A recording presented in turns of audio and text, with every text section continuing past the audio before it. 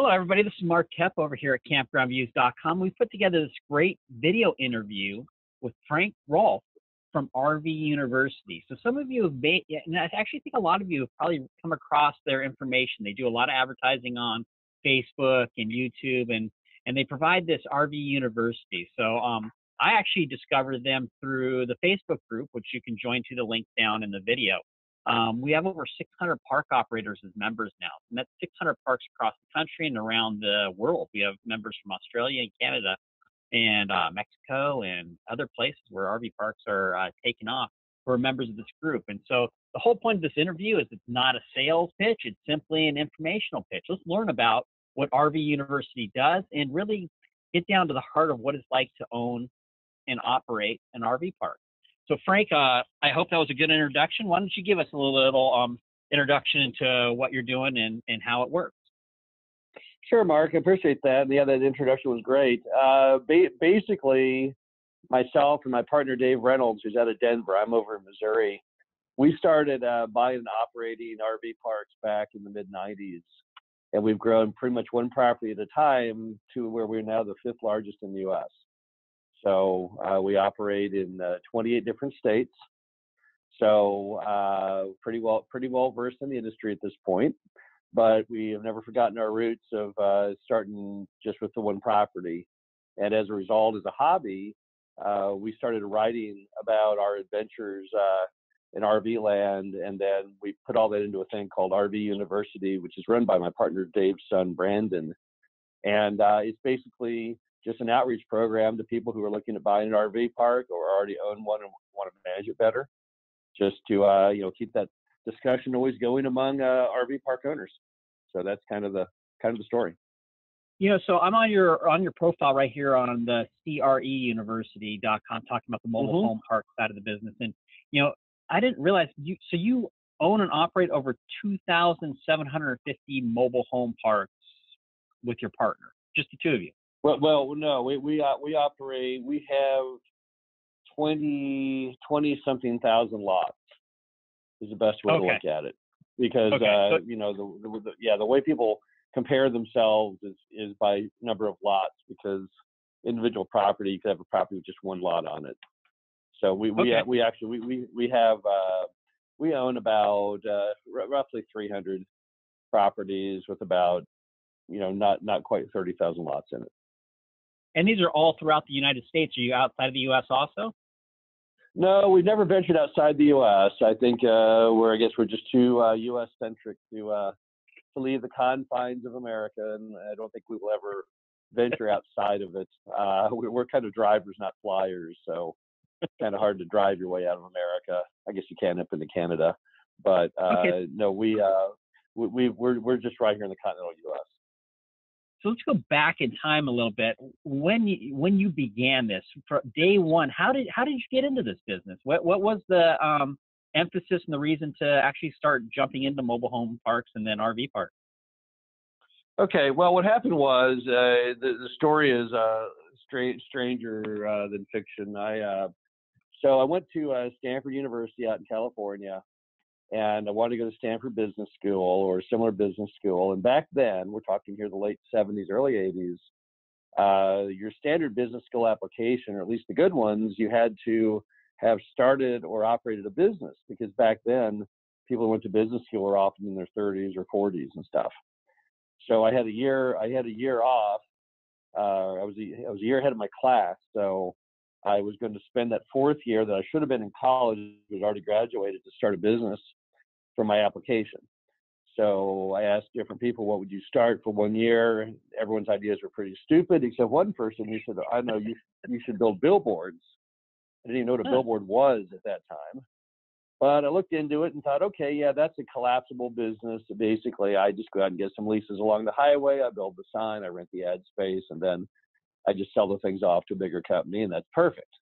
So I started doing that. At the end of the first year, I had three three built and seven pending. I decided to go one more year to build the seven, and you can guess what happened. By the next year, I had, you know, 10 build and five more pending. I just repeated that every year. Never went to business school. Did that for 14 years, and then uh, 14 years later, I got, I got bought up by a public company, and uh, so then I had to uh, start all over again. So followed the same exercise. This time I called around all the various people that I had built billboards on to see uh, if they had any great thoughts of what great businesses had the best future out there.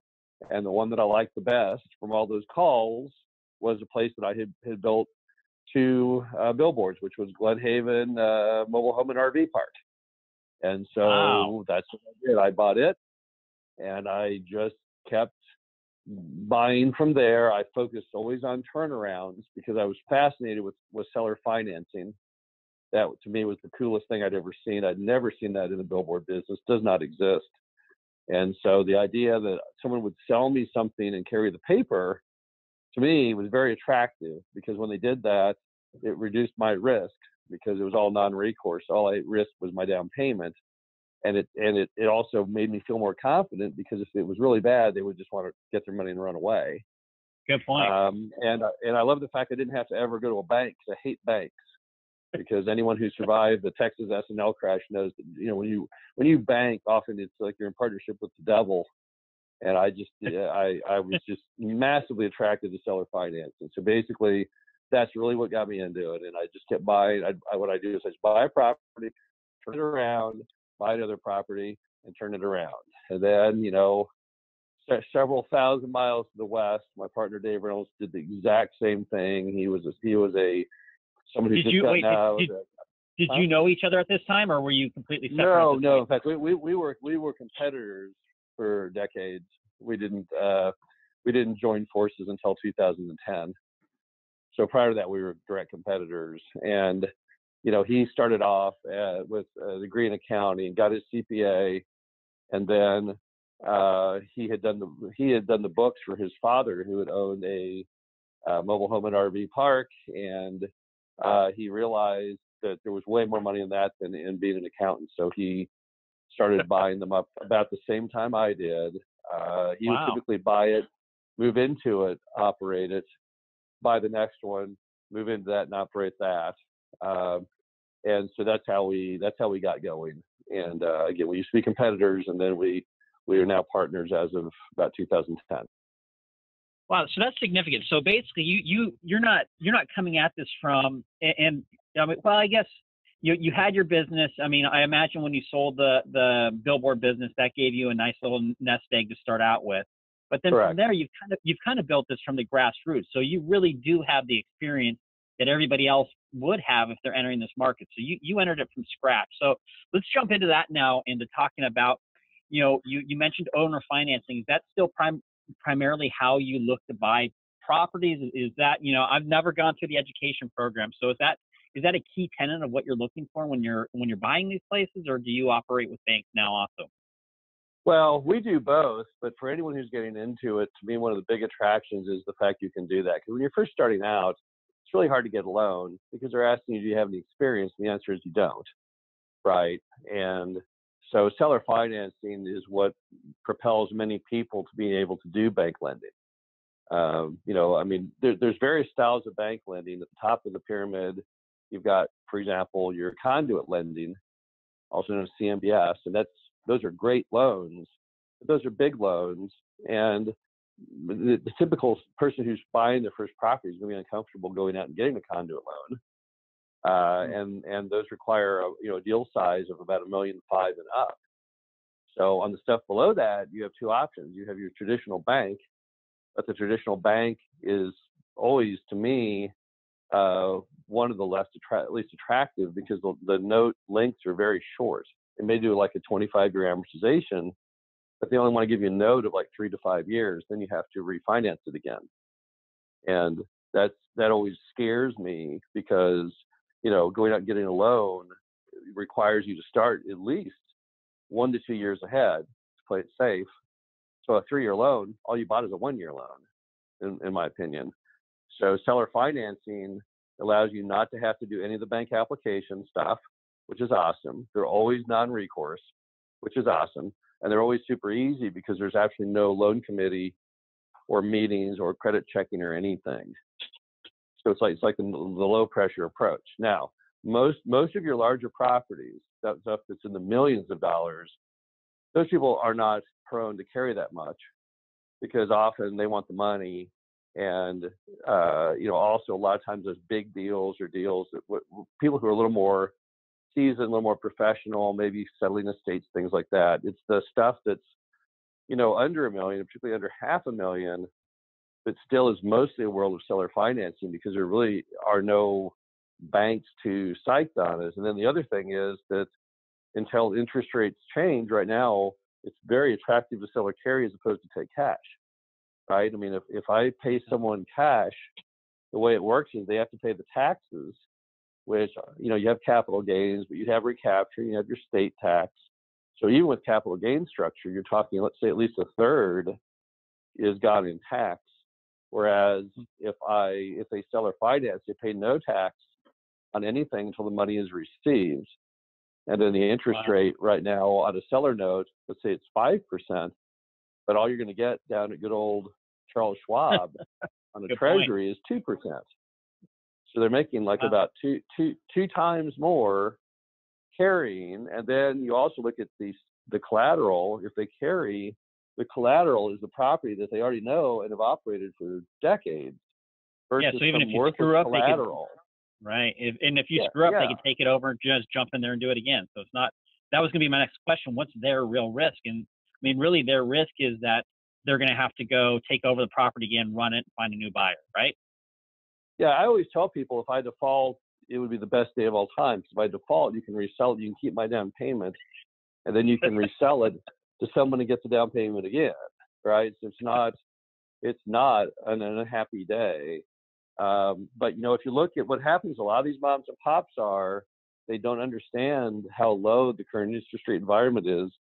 So what they'll do is they'll you know, they'll go down to AG Edwards or they'll go down to Charles Schwab and say, how can I get the same five percent that the guy offered me on the on the RV park? And they'll say, oh yeah, well here here's some John Deere junk bonds yielding 4.9, and of course when those go sour, you get nothing. When when right when the RV part goes sour, you get the RV part back. So a lot of times they they really should carry. Of course, the biggest pushback you get from people who carry is, "Hey, I'm 75 years old, so I can't carry because I'm going to die." And the answer is no. You can totally carry. All that happens is that first lien note goes to your heirs, again at a higher interest rate than they could achieve, and you can always sell a first lien note. First lien notes are fairly liquid. I mean, there are people huh. you can Google up and sell your first lien note to in three days. So wow. uh, it's not an illiquid, not an illiquid item, but in, because there's a, solid asset backing it. Exactly. It's mostly it's mostly educational because most people don't even know you can seller finance. And often when you educate people on here's the plus of doing that, then they become fans, but until you educate them, they don't really understand what you're talking about.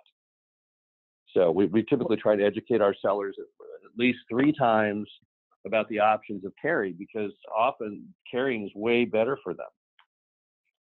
Wow, that's so. So in that, you know, let's so when you're educating these sellers, because it sounds like that you that that audience that you're going after who's selling a property in that $500,000 and under range, you know, or, or at least under a million dollars, they're probably not going to be super sophisticated on on what they're doing with that. So, do you find that? Uh, do you say, hey, is that?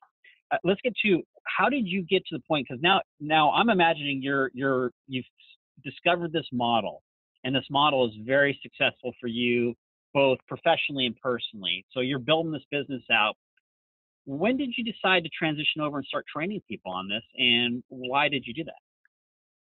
Well, we don't. We never transitioned. In other words, what happened was huh. we started writing small books as a hobby. Um, my small books were more theoretical, and Dave's small small books were more based on accounting. So hmm. we kind of organically grew what what, what we do, and the concept was that back back in the mid '90s, there really weren't any books or guides or anything to the industry. And so we, we thought the more we could contribute there, the better. And we've looked looked at the industry kind of like a fraternity. And it's not like an all guys fraternity because there are women who also own properties. But in other words, just theoretically, kind of like a coming together of like minded individuals. And um, so we've we've always had fun with it. I mean, it's a little known secret that most people don't know, but I, I used to uh, teach college as a hobby, starting all the way back to when I was in college. I was the youngest teacher, I think, in Stanford history. I taught um, public speaking starting as a uh, as a junior, and wow. uh, Dave, yeah, and Dave, Dave uh, taught accounting um, one night a week at at uh, a university there in Denver. So I've I've always taught. It's always been kind of a part of my personality. I've always taught um, at least one night a week my entire life since I was in my 20s. And then when I moved from Dallas to Missouri, there was no college nearby, so I just expanded my writings on the industry. But um, that we've always, we've always kind of been teachers. I guess we're I guess we're frustrated, you know, wannabe college professors or something. So that's kind of where a lot of that comes from. It's just well, it's, I, may, it's, I imagine just, you're, you're, you're a hobby. well, you know, uh, there's that old line of uh, people who do do and people who can't teach. But it sounds like you're actually you flip that on its head. You're somebody who's doing and teaching, and so that that brings a very unique perspective to your students because they know they're learning from somebody who's actually doing this and, and successful at it. So. Um, I imagine it sounds like you started out with the mobile home parks. At what point did you start getting into RV parks? And um, Sure. is there a, is there a difference between the two? Well, you know, uh, my very first property was mobile home and RV, Okay. and that's been pretty much the model throughout. We have some that are dedicated 100% pure RV. We have some that are 100% dedicated pure uh, MH or manufactured home. But there's always been a hybrid because we we, we have traditionally just bought good deals, and we're we're willing to play either either game, and they're both both fairly similar. I mean, a lot lot of the RV parks we have, we have some that are true RV parks, uh, but we have others that are uh, situations that are RV parks where basically people live in them full time or nearly full time. So, I mean, the, you know, the RV industry is is a you know is, it's a pretty varied playing field. I mean, there's a lot of Right. facets to it. It's not just all one thing, right? So, Right. uh, I mean, people drive around they think, ah, look, there, there, there's an RV park, but there really isn't any set standard one. There's the there's the luxury ones that cater to people who are just visiting, all the way down to more down and dirty ones that uh, just cater to people who basically park there because they work there, or they park there because they want to retire there and live full time. And um, so we we just basically pursue the deals based on economics, financing, location, and and then we let them morph into whatever they want to be. We've had properties that were RV that have, segued into more MH, and we've had parks that had more MH in the front end who segued more into, into more RV. Um, Okay. We so we, we we basically play all all the different varieties. So now you have um, you have the mobile home university, and then you also have the RV park university. Is Mhm. what are the differences between the two, and what are the similarities between the two? Well, you know, the biggest difference between the two is the the RV industry, the actual property itself is different as far as the marketing and the management probably were the two biggest differences between RV and MH. So when you have an RV property, because it is, if, it, if it's a, if it's a pure true RV as far as recreational property, uh, you're going to offer obviously lots of amenities to attract people, and they're going to be more demanding of that because that's the business model, right? So the owner of that is going to be part concierge, part troubleshooter, part marketing genius, part you know manager, and Yeah. whereas on the MH side it's more passive because you traditionally don't really offer any amenities. You're basically just renting renting the land. So that's one of the big issues. The other big Yeah, it's like- issue is once It's like a multifamily. go ahead. I mean, so a Yeah, mobile you- home you- park's like running a multifamily versus an RV park's like running a hotel, right? I mean, would that be the Yep. the big difference? Yep. You are uh, you are exactly correct, and um, so that's one of the big differences. And then also, just like those two differences, the way you would advertise a market, a hotel is completely different than how you would advertise a market apartments. So basically, the the the actual operations are not much different. The uh, the expense line items are pretty much identical, although there's some that are that are meatier in one than on the other. Um, but the, but the big the two biggest differences to me would be in the advertising to get occupancy, and then just the the management side of it because you are more like operating a restaurant with RV than you are in MH. Wow.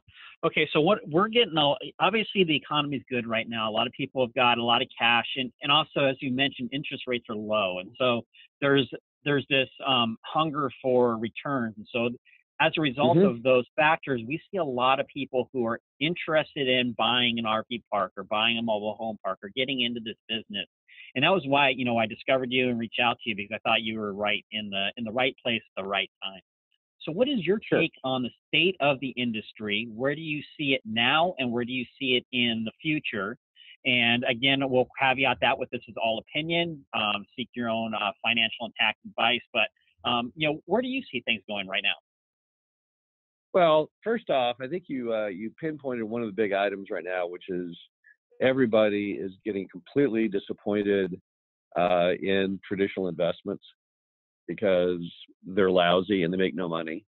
And yeah. it's almost become like a a a con game of people uh, entrusting their money into various so-called money managers who don't actually produce any form of return. I mean, if you look at private equity, for example, private equity over the last three years has returned an average of what is like four percent. Uh, the stock market, as we all know, last year did not even end up in the black. It was down five or six percent, and then you you add inflation to that, and you're losing money like crazy. So if you put a dollar in the stock market last year and held it for the entire year, all you had to show for it, including inflation, is you lost about ten percent. So hmm. you're having, I think, kind of a revolution among smarter people saying this conventional stuff doesn't make money anymore. I'm not making any money in stocks. I'm not making any money in bonds. I'm not making any money in CDs or treasuries. those things come in at or slightly below inflation. So everyone's realizing that if they want to make any money with their money, they've got to turn to alternative investments.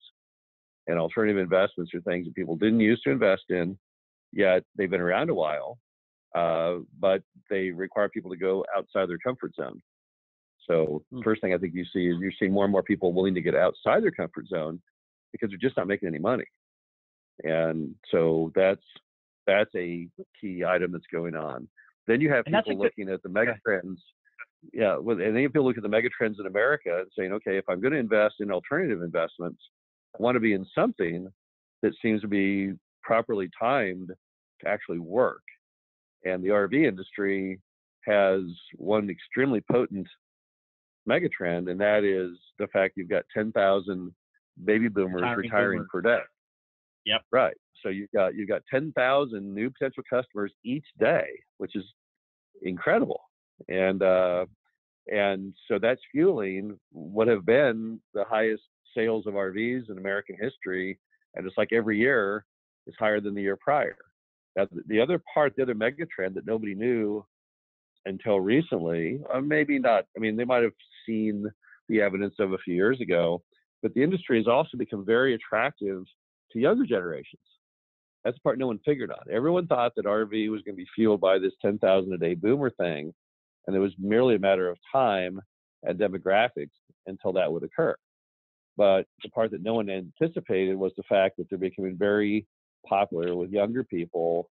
You know, they've studied why, like why are younger people attracted, and they found that they just kind of like the adventureness and the simpleness and the bonding time of the outdoors, right? I mean, a study recently showed their number one thing people loved in RV parks was outdoor cooking right?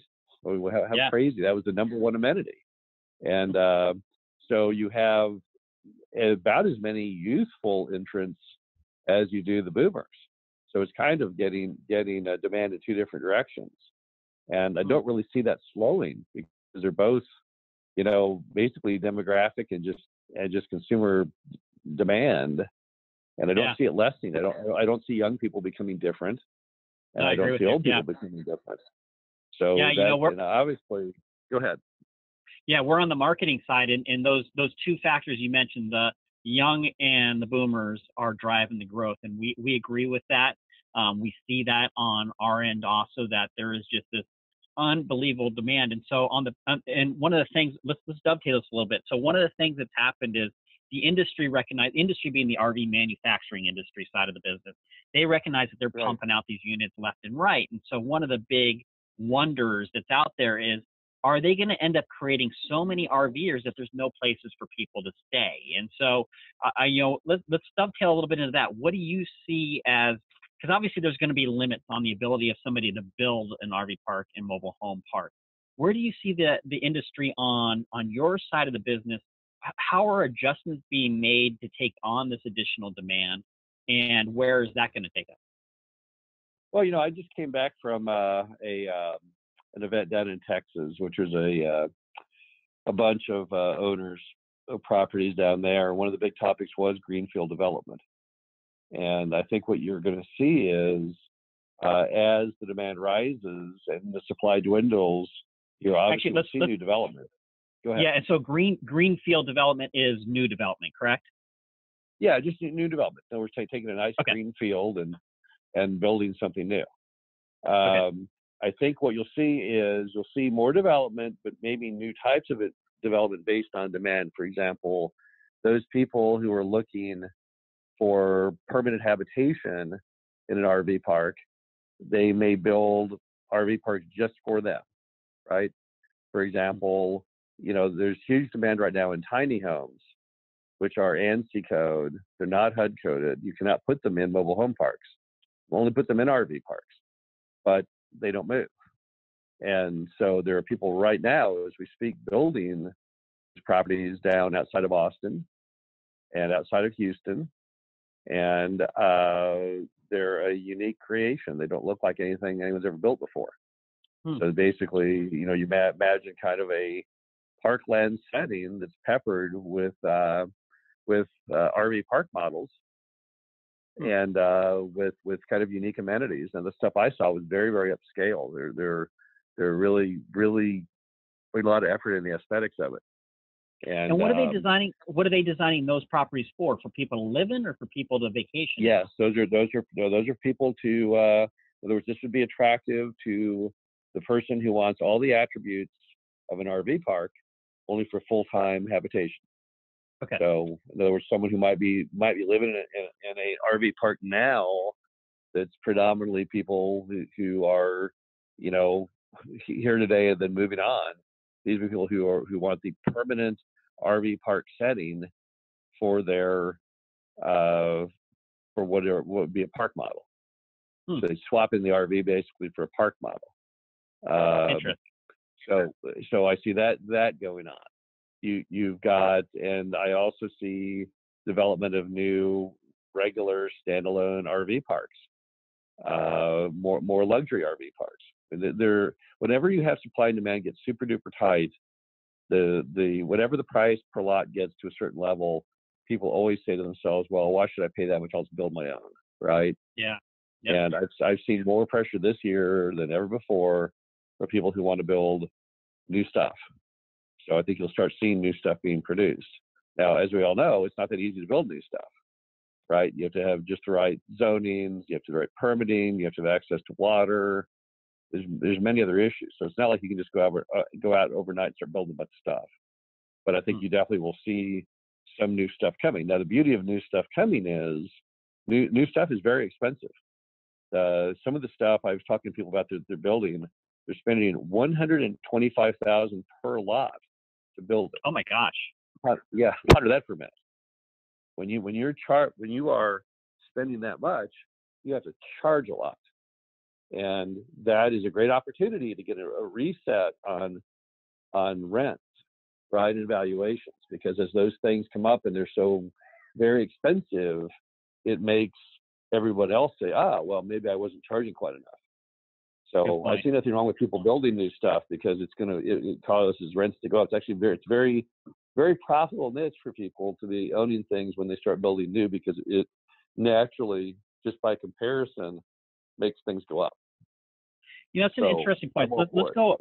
Yeah, on that pricing thing. I mean, one of the, it's an interesting market to be in because you know one of the things with like mobile home parks is and, and I'm not I'll, I'll do a broad brush. I don't want to be super specific, but generally speaking, folks that are living in mobile home parks, they're they're there because of the price of the mobile home park, right? It's less expensive than a home or apartment or whatnot. Um, and then on yeah, the flip side, go ahead. Yeah. And, and so, so for the most most part, that's correct. That's most part. That's right. So as as we see that, what are you seeing as an op? Since you own so many sites, when you're when you're raising rates, you know. So let, us talk to the people who are looking at either buying a park or they currently own and, and operate a park.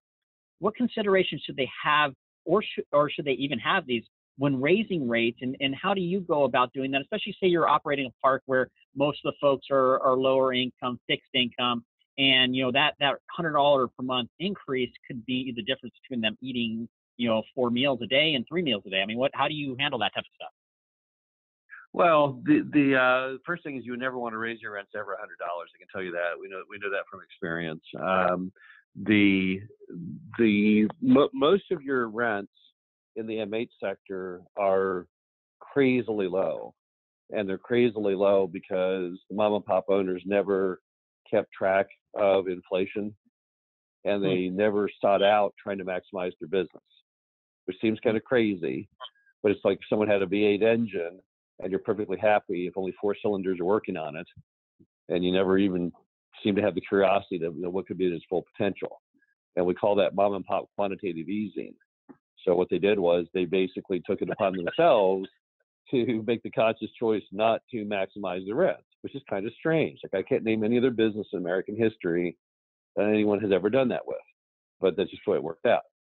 And so now what you're trying to do is you're trying to like raise raise the rents to catch up for decades of inflation, right? But that's a painful process because the residents, even though the rents are crazy low, that's what they got in their household budget. And what they've done is when your household budget is X and you take out your rent you find ways to spend all the rest of the money. And so the money's there, but people have to now recalibrate for changing the rent. So what we found is most people can handle a rent increase that's roughly $50 a month or less. And I guess what they do is they say, well, that went up $50, but I can cut back on one casual dining experience at Chili's and I'm even right? But when you get up mm-hmm. to a hundred dollars, it's a lifestyle change. To a hundred dollars, they're having to cut some thing out of the budget. It's not really a reallocation. It's it's now much more painful. So at a hundred dollars, they're going to have to drop a whole segment out of what they do. They're going to say, "Oh, well, I guess I'll have to give up, you know, my gym membership. I guess I'll have to give up going to the uh-huh. whatever, yeah. the basketball game or whatever." And so we try and keep any, any rent, rent increases under a 100, but it is, it is a very painful and serious part of America that we've got to.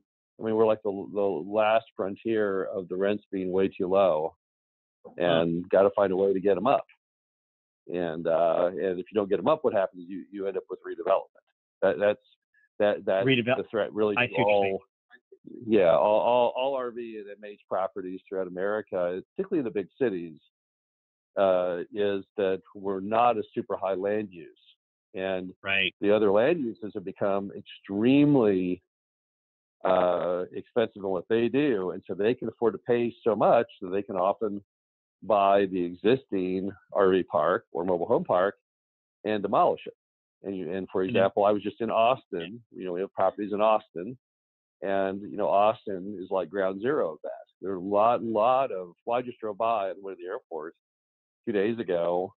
Another RV park had been scraped over by the airport, and you can tell why in Austin because in Austin the average apartment rent is fifteen hundred dollars a month. It would make mm. no sense to have an RV park, particularly an older RV park that doesn't have very high rents, with buildable land for apartments. Why in the world would you not just buy it and demolish it? Interesting. And that's, you know, and go ahead. It's interesting that you brought so you know really there is a lot of change going on, and so you know somebody in your role who's been doing doing this the way you have been teaching it. If you were starting out, if, if you were if you were you back when you were starting out, way back when, you know, remember that first property, what advice mm-hmm. would you give yourself entering this business now? What what type of property would you tell you to look for? What type of deal would you look for? How would you advise you in the past to get into this industry? Well, the first thing I would advise me is to go ahead and do it because even today, where I have sufficient cash to invest in many things, I can't find anything investing in that's as attractive as uh, RV and MH. So there's no uh, so there's no question in my mind. The timing is still good. I mean, when I when I sold my billboard business, the reason I didn't get back in it was it, its time had ended because mm. all businesses kind of have a life cycle, and there's a time to get in them and there's a time to get out of them. Whether it's automobiles or Hollywood or you name it, there's typically a point in history that people can say, "Oh, yeah, that was the time to get out," and then those who didn't look like fools, and those who did look like geniuses. Well, our our time has not come yet because we're still in enough infancy now. The industry is still growing and is nowhere near re- reached its top yet. So item one is I would tell myself to go ahead and do it. Item number two is I would look at the playing field out there and bear in mind real estate is all about capital, right? I mean it's really hard to get into stuff. Dave and I both have done collectively 12 zero down deals, but you know by and large there, you have to have some capital to get into real estate or a really a, a burning desire that's big enough to overcome the fact you don't have a lot of capital. And based on the capital you have, kind of is going to uh, give you an idea of what you need to be buying, what like what's in your what's in your dollar range as far as buying. And you know, if you take take what you have capital wise and multiply that times ten, it's simply about the outer limit of where you're at. So that would that would okay. that would define like financially. So I have fifty thousand dollars. I should be looking at something that's five hundred thousand dollars or less. Is that what you're saying? Yeah, but basically correct. Now I'm not going to say that's across okay. the board true because again, we, we've we've done 12 different deals with zero dollars down. In other words, the seller carried 100%. But let's be honest on those deals, they were they were screwed up. That's why the guy did zero down. So a zero down deal that I have to put hundred thousand dollars to fix is not really zero down. yeah, that's right? true. Now we, we have had a few bizarro differences. Like we once bought a deal from a bank, and it was, it was actually was an RV MH property in the Midwest. Weirdest deal we've ever seen. We got we we we constantly call different people looking for deals, and we call okay. banks and let them know, hey, we buy foreclosed properties. And the guy calls up and says, hey, I got a foreclosed property, and you're the first person I'm calling. And would you be interested? And so basically, I just jump in my car and I drive to the property. And when I get there, I can't be in the right property because the property is mint. It has nothing wrong really? with it. The roads are perfect. The entrance is perfect. The sign is perfect everything's perfect. He's got like 80% occupancy. So I call up at the that bank time. and say, "Hey, am I where, am I in the right spot? Can you help me define where I am?" And they're like, "What do you see?" I'm like, "Well, I see a, a medical building here at the entrance." And they're like, "Yeah, yeah, that's it. That's it. What do you, what do you think?" And I said, "Well, gosh, I don't know. It's kind of rough." And they're like, "Yeah, yeah, I know it's rough. Here's the deal uh, we'll do a zero down. You just take over the note, and oh my it's God. yours. And we've no still kidding. never figured it out. Yeah, true story. All we can figure is if the guy. Uh, sometimes borrowers themselves become unbankable, Uh-huh. right? Because they they uh, they go out and buy a McMansion and default on it, so the, the property is fine, but the borrower is not. And so Oh all we've ever figured out of that deal. We never really wanted to know the truth because we didn't want the bank to know that that it really was meant. But we think what happened was that the guy went into term default because he was not bankable, and then that no one ever bothered to find out why it had defaulted. Because Wow. otherwise, it doesn't make any sense. Okay, so there's one that was truly zero down, and I didn't put a penny in it. But normally, if there's zero down, you have to put some money in. So that's why uh, uh, you know, again, 10, 10 times, there's many, many miles of house will carry with even 10% down, even on a decent property. But that, that's why, so basically your capital times 10. So in that case, yes, if you had 50, then you'd be looking probably around half a million bucks. Okay. Right. Uh, n- number two thing or number three things, number two or three, that I would say that you would want to do is you, you want to look for stuff that can really make money. And by that I mean that it's nowhere near potential. I, I hate properties that are already running on all eight cylinders because there's like not a lot of value add, and therefore there's not a lot of money in it. So I, I like have always liked and always will like properties that have something wrong with them, not physically. I mean, I want them to be a good location, but operationally they're screwed up. You know, the guy's either he's overpaid the manager wildly, or he's hmm. doing something else stupid on the expense side, or he's not marketing it effectively at all. Hmm. That kind of stuff. So I'm always looking for that. That that takes some entrepreneurial spirit there for that that little piece. Being able to identify that that gem in that coal mine there is is that is key. So can you talk a little bit more about that? Because I know a lot of a lot of the folks that follow us, they're in that space where they kind of you know usually what happens is and, and you can correct me if I'm wrong especially in the RV park side, usually what happens is somebody actually buys an RV and starts traveling and they're like, I could do this better. This is horrible. You know, I, this is beautiful park is being run, run wrong. So can you talk a little bit about that, about what, you know, let's go a little bit deeper on that, that things to look for that would be key aha moments. I can do this better, or I can do, I can take this property and, and make it a, a real diamond. What would you look for? Yeah, they're, yeah they, they almost all revolve around the manager. Number one, uh, we have bought properties where the managers were wildly overcompensated. I mean, hmm. uh, we bought a property in Kansas City. It's the oldest property we ever bought. It was built in 1935 or something. Wow. And the guy had a manager there. He's paying the manager $108,000 a year.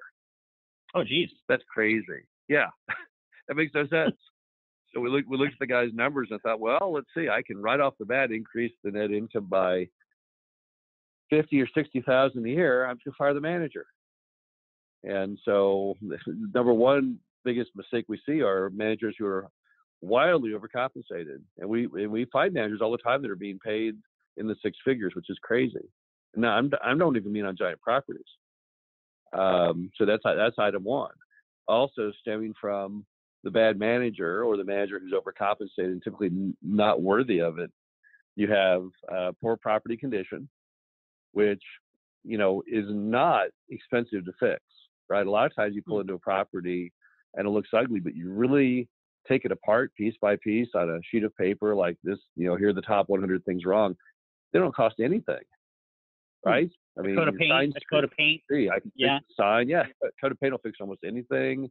Hey, let's paint the speed bump. Hey, let's cut the yard better. Hey, let's paint over the rusted fence. It's not a lot of money, huh. and yet it's poor. It's poor condition scares people away.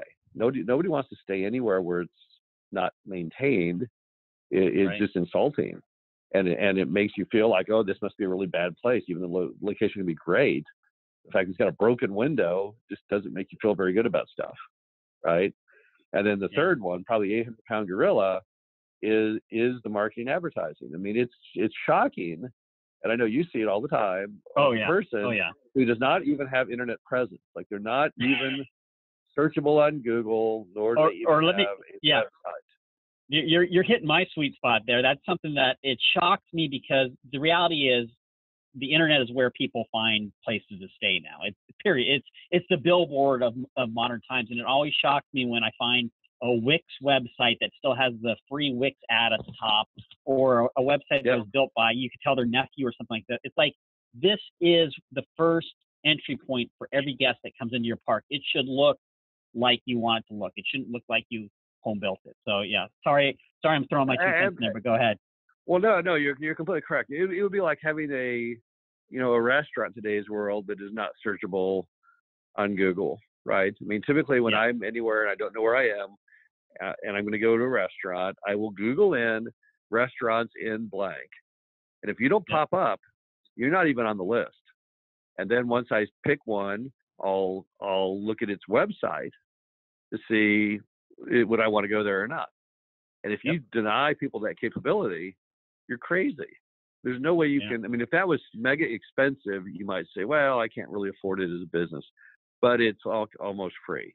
So that's it is. That's yeah. stupid. So we see a yeah. lot of that. And then you'll see a lot of times the property that has beautiful frontage and no signage at all. It's another mind blower, right? So, so it's right out, right on the interstate highway, and their sign is an eight by ten sheet of plywood that's half fallen off. And you look at that and go, my God, let's see here. I could take that sign down and put in a professional quality sign for what, a thousand dollars, and I could put in some feather flags for one fifty each, and I can put it in some three rail white vinyl fence for ten dollars linear foot, and you could redo the whole package and make the thing look spectacular for not a lot of money, and yet they don't do it. They're either they're Yeah, either blind You know, you- can't see vision, or they think it's too expensive or something. you know you you have the experience with the signage so what would be your key points you kind of hit on them there with the the the picket fence the the banners and the signage what would be your key tips for good signage for a, an rv park or motorhome park on the street what do you what do you need Okay, on your well, property let, let's let's first go back to we, we are huge fans of that product known as white vinyl, right? We love white vinyl. It doesn't always have to be white vinyl. They also make tan vinyl, but we love the white vinyl product because you don't have to paint it. It always looks fantastic. It's self-cleaning. The best product ever made, and the best of all, it's really cheap. How often in life do you get great products that are cheap? Normally, great products are incredibly expensive, so we all settle for not great products because they're cheap. So this is the one time that the that the Dollar Tree product is also the best. So our entrances all revolve around white vinyl. We typically always put in three, three rail white vinyl fencing down all of our frontage. And you might say, why three rail? Well, we've tested both. We tested two rail and four rail. The four rail is too solid looking, not very inviting, and the two rail is too small. So we like the hmm. three rail, which we also conveniently use to hang banners on because we love banners. So I put in my white vinyl three rail fencing down the entire frontage, and I, A, I look fantastic. B, I stand out when you're driving down the road. You always look when you see that that beautiful white fencing. You always are going to look Sure. over at it, and then we use it to put banners on it. Right. Then all of our signage inside the property, we get rid of all those old rusted metal posts, and everything is done in a white vinyl post with with a nice PVC top. Right. You know, an ornament ornamental top, or they now make the ornamental yet solar powered lighted tops. Doesn't matter, whatever you want to do.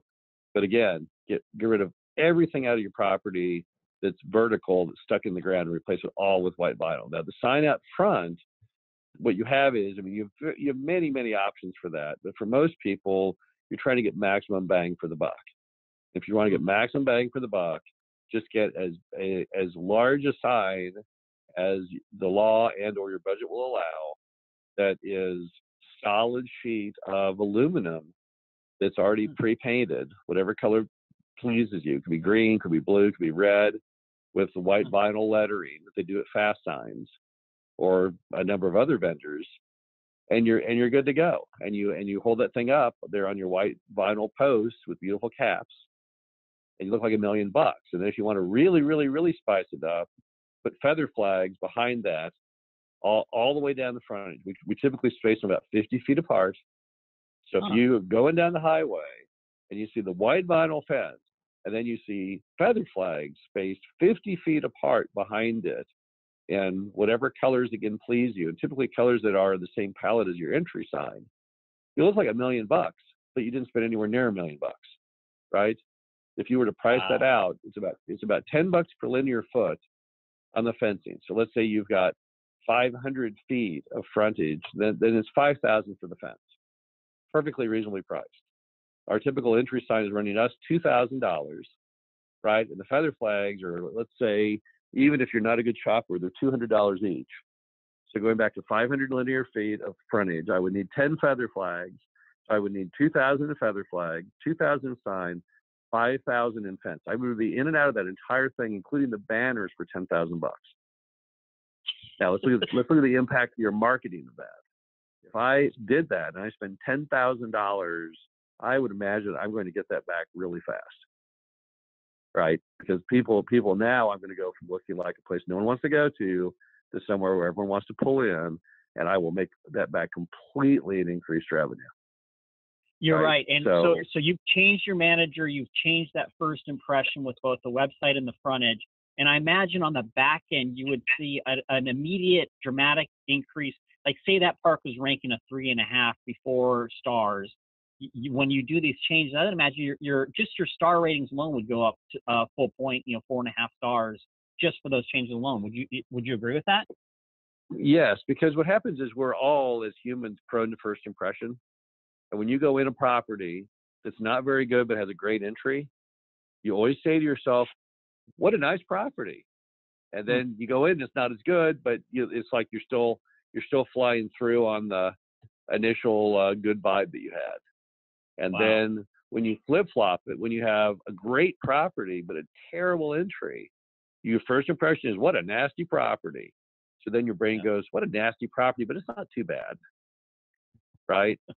And Yeah. so yeah, it, it, and you know that flavors everyone. It flavors appraisers and bankers and customers and future buyers, and everyone is flavored by first impression. Anyone who doesn't believe that's wrong.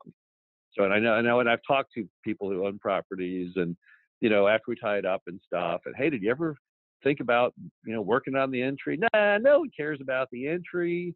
That's just the cover on the book. People pull in, then no, that isn't true because people don't even pull in if it doesn't look good. I mean, how many times have you driven down the highway and it's noon and you pull off and you're some small town? You're going to judge the restaurant completely on the exterior. I do. True. I mean, if I if I pull in and it looks like a freaking disaster, where you know the, it's not the building's not painted, the signs falling down, I'm not going to eat there because I'm going to figure that whoever would let the, the thing look so bad on the outside is probably not even cleaning the kitchen. It's Very just human point. nature. And uh, but so yeah, I think entries are absolutely key. I don't think I don't think you can have a top rated property without a nice entry. I just don't think you can. Craig, I don't want to take too much of your time. This has been an amazing interview, and I hope we can do more of these. So let's let's go into how people can find you and connect with you and be able to learn. Because I, I think we've only scratched the very surface of what you're providing in information. So let's let's tell people how they can find you, connect with you, and learn more from you. Well, the best thing to do, and again, the, all all of the educational stuff we do is run by uh, Brandon, who's my uh, partner's son, Brandon Reynolds. And the best way to find find the website and Brandon is rvuniversity.com. Uh, and if you go on there and sign up, you know, I, I, I write a lengthy monthly newsletter that just reviews all kinds of uh, topics that I see out on the road. I mean, bear in mind, I'm on the road a lot. I drive 100,000 miles a year. Wow. So uh, yeah, I, I basically all I do is drive between our properties. Uh, that's my one superhuman skill is I'm able to outdrive everyone. So um, you know, so as I'm driving around, I take pictures of things I see, new things I see, old things I see, screw ups people make, and then I I I guess eh, for fun write write about those, and then I compile those into that monthly newsletter. So uh, if anyone wants it, it's completely free. Uh, just go to go to rvuniversity.com and uh, sign up for the newsletter. That that will get you in the loop on, on the very stuff that that that I write, and uh, then you can also see all of Brandon's contact information as well.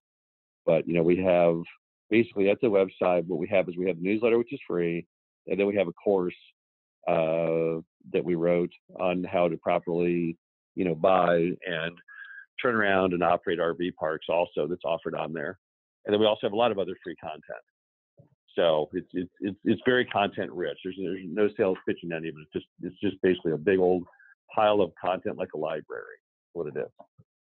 That's amazing. So then on the other side, on the mobile home park side, I imagine they can go to the creuniversity.com and, and collect information there um, for the Well, commercial real yeah, on estate the, on the mobile home side, you can go to mhu.com, MHU, okay. mobilehomeuniversity.com, and same items there. I, I do a monthly newsletter on that. I've got a course on how to properly uh, buy, turn around, and operate mobile home parks. So it's basically it's basically a mirror image. And then we also have a, uh, a an event, which is like a three-day immersion weekend where we actually it's part in classroom, part out in the field. That where we is for both RV and MH in one spot at the same time because the businesses are next one of so those classes taking place? Uh, next one coming up on that is in, uh, let me think here, Orange County, California, uh, February. I don't know if I can find it quickly enough here. Let's look here. It's February, uh, one, two, uh, February 22nd through 24th. Wow, and that's in Orange That's County. next- Cool. You know, I'm, Orange I'm out of yep. Thousand. I- I'm out of Thousand Oaks. I may I may have to attend one of these things. Well, you be you know be, be our guest here. I mean, we're uh, you know what we do is and we, we basically just for three days go over every way to identify, evaluate, negotiate, perform due diligence on, renegotiate, finance, turn around, and operate uh, RV and mobile home parks. So it's it's basically just uh, it's like a college course is actually how it's designed. So we are we are uh, two day two days in a room and one day in the field. Wow. So Frank, I, Uh, yeah. I appreciate your time on this. I'm going to put the links to all this information down below in, in the video description. I hope you have found this useful. I know I have. When I when I'm learning, I'm sure you're learning. Make sure to connect with them at rvparkuniversity.com and the mobilehomeuniversity.com. As you can clearly see, you're going to be uh, engaging with some seriously engaged and knowledgeable people. There's nothing better than doing that. So, Frank, I appreciate your time and thank you. If you want to check out more about You us, bet. go to campgroundviews.com. And also, we have the link below to the Facebook group. There's over 600 park operators that are now members. If you want to engage with people who are in the industry, we're making those connections. Thank you and goodbye.